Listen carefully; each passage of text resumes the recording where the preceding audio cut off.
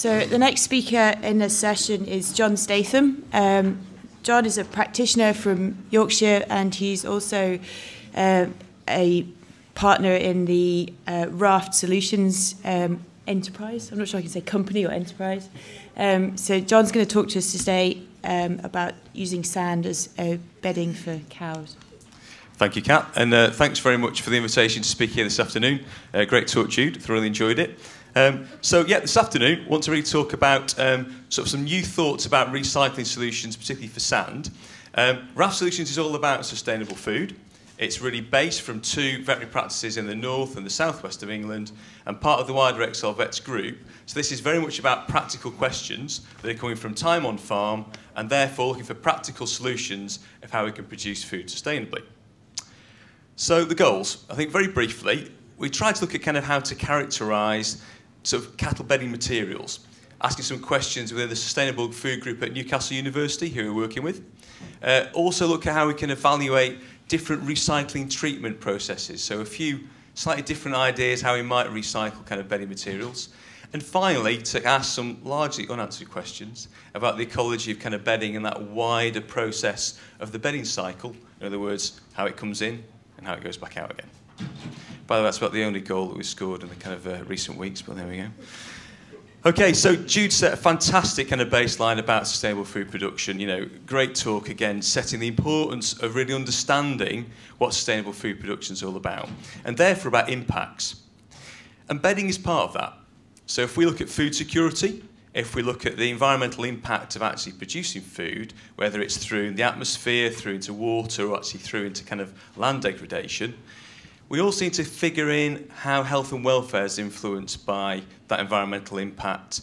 And of course, just crossing the line into antimicrobial resistance and One Health, you know, what is going on in that microbial population in our livestock food production systems. So two of the most negative sort of impacts on health on our dairy farms are mastitis and lameness. And there's definitely a role for managing cattle bedding in those two aspects. So sustainable bedding. Well, bedding materials, what properties do we want? Should be comfortable, highly absorbent, pretty useful, um, non-slippery, non-abrasive, and low in environmental bacteria. So we have different systems. It might be peat in Ontario. Um, there's a nice bit of peat bedding there. It might be sand systems. It may be sawdust. It may be straw. It may be grass. The point being there are lots of options. And when we get it right, we produce comfort and we produce very good hygiene. When we get it wrong, we've got the risk of lesions, the risk of injuries, the risk of serious disease such as mastitis. And if we just follow this, uh, this little arrow here, th these cows are standing up on this bedding. The reason why is if they lie down, they might die. And actually, it's not because of the bacterial load. When there's pressure on the dairy industry, we go cheap. This bedding was free. It was kind of wood, um, it was reclaimed wood. I found shards of glass this big in it, nails this big in it, and bits of window frame. So um, you get what you pay for. Those cows rarely actually lay down because if they did, they were injured when they got up again.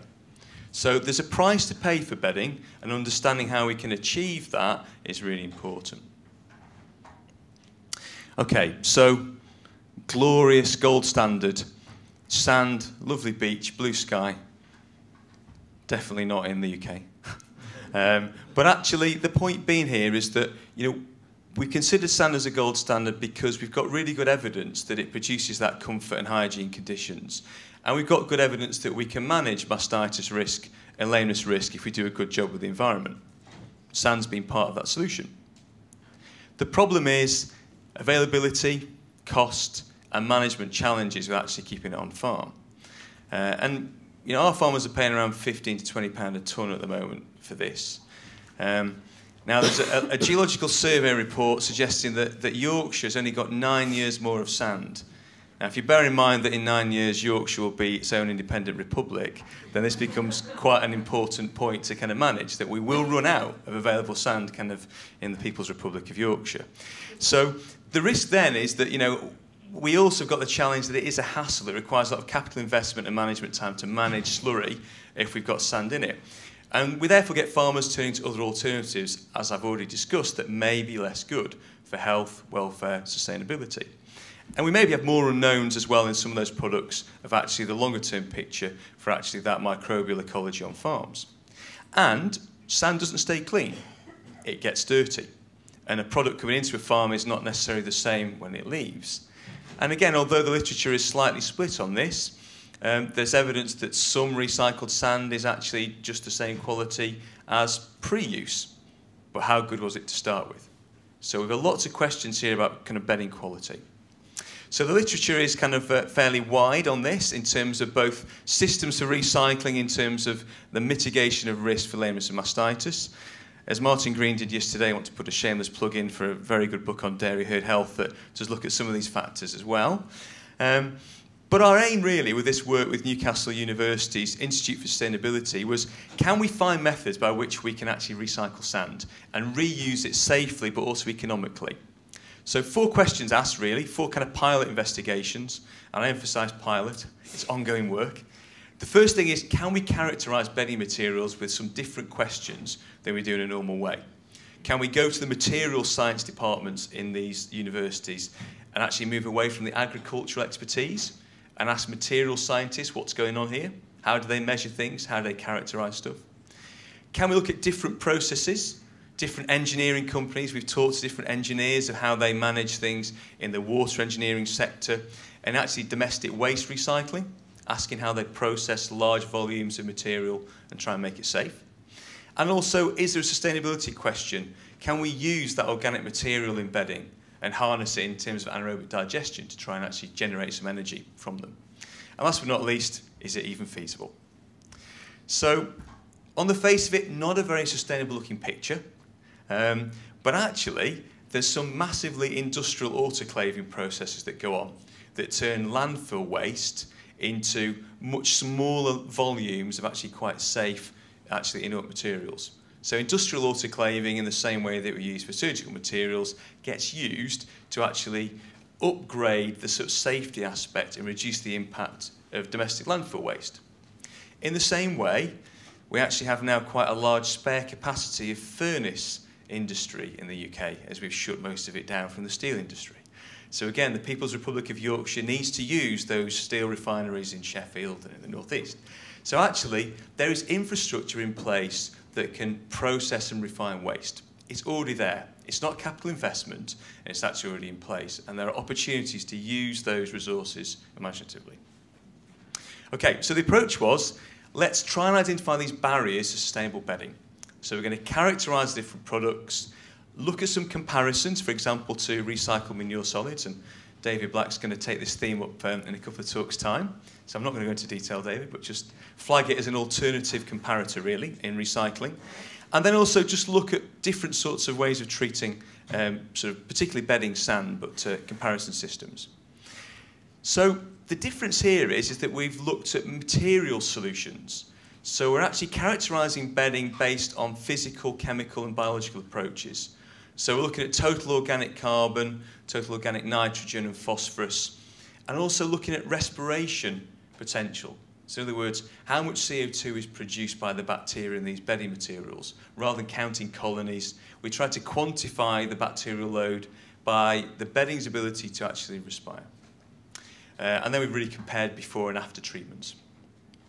So a vast knowledge, of course, that I've got of differential scanning calorimetry.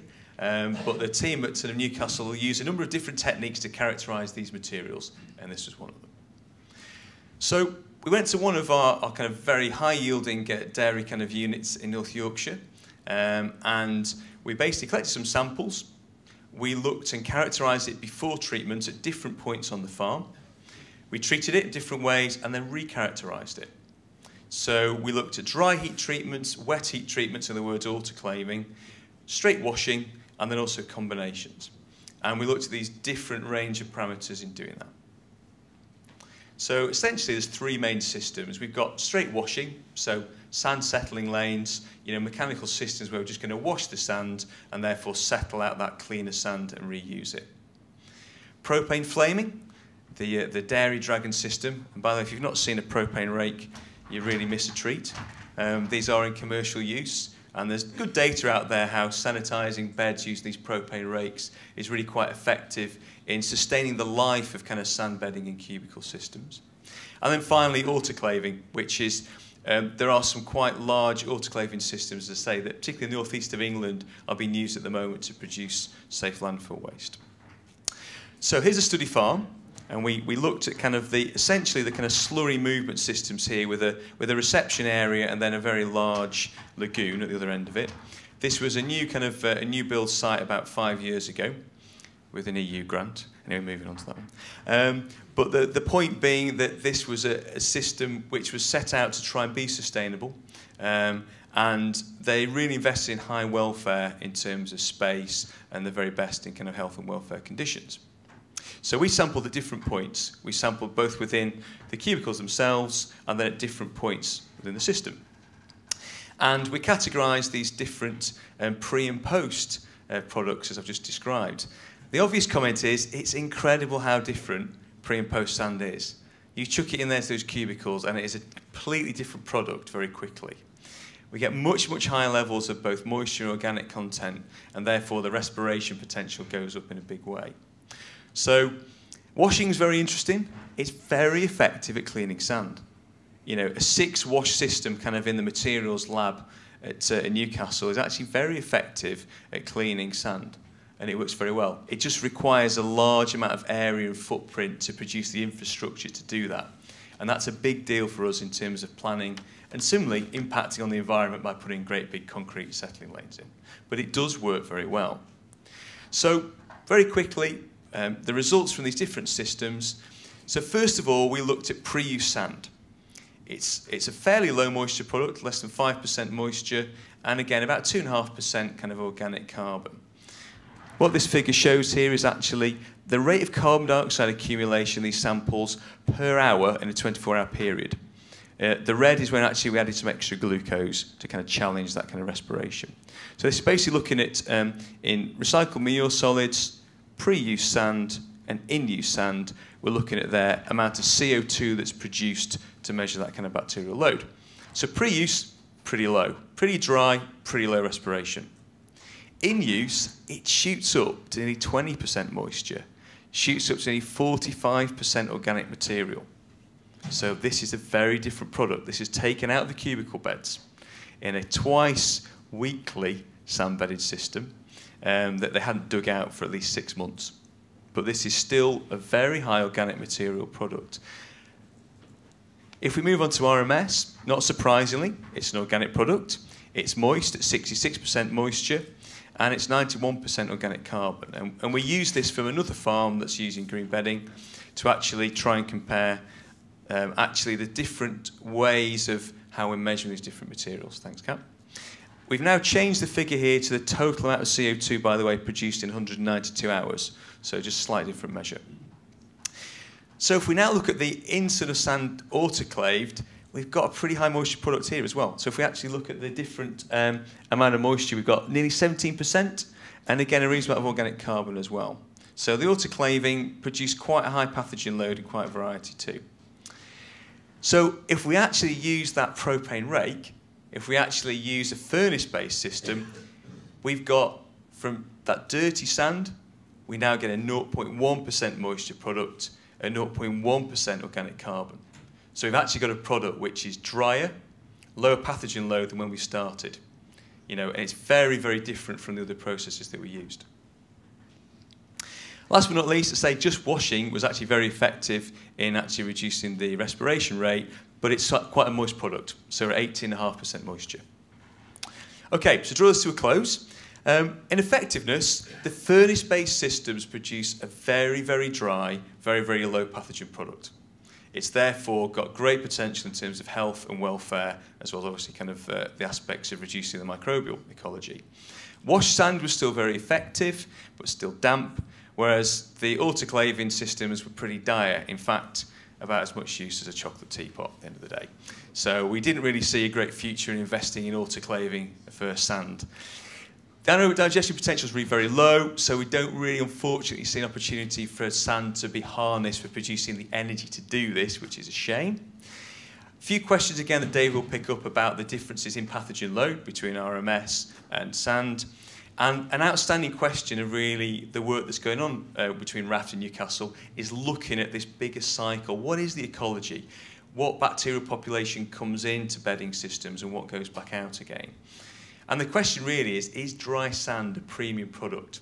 So is heat-dried sand a premium product that could have a value in humid times of the year and in humid systems? So to finish off, further work really is we're actually at the moment surveying farmers and vets asking their views on whether they would be interested in a central kind of recycling depot or the idea of the kind of the, the furnace wagon that comes onto the farm to do the recycling. Um, we're looking at the kind of thermodynamics and the cost benefit of doing this at the moment and also further work actually using some next generation sequencing and different techniques trying to understand what that microbial ecology is in and out of the sun system. So just to acknowledge my, my colleagues, so Lindsay Blake and Neil Gray up at, uh, and Judith Dix and Christina up at Newcastle, and my colleagues at RAFT Solutions. Thank you very much.